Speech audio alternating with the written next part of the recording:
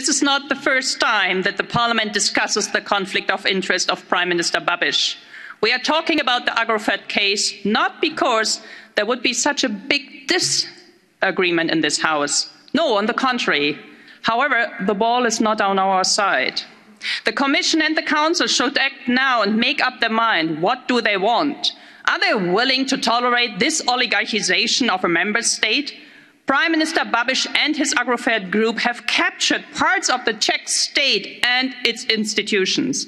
it is also about our external reputation. if we allow that the state and business interests are mixed up in one of our member states then how can we criticise third countries? how can we demand substantial reforms from other states if we let this unlawful practice exist inside of our union for years? Andrej babiš has become a billionaire with with eu funds so it wasn't a surprise that there is a risk of conflict of interest when he became a finance minister of his country seven years ago. the risk for conflict of interest got even larger when he became prime minister four years ago. the commission has now certified that but the conflict of interest persists. so the question to mr babiš is when when are you resolving this this conflict?